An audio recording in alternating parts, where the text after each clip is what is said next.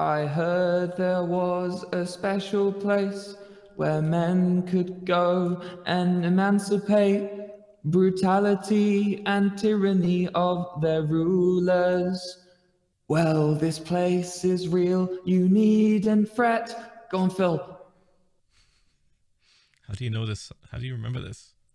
I, I wrote this. I wrote the verses. I wrote the second and third verses. It was a very happy memory for me. With Wilbur, Tommy, t- Tom, Tommy, Wilbur, Tommy, Tubbo, Fuckeret, a very big and not blown up L'Manburg.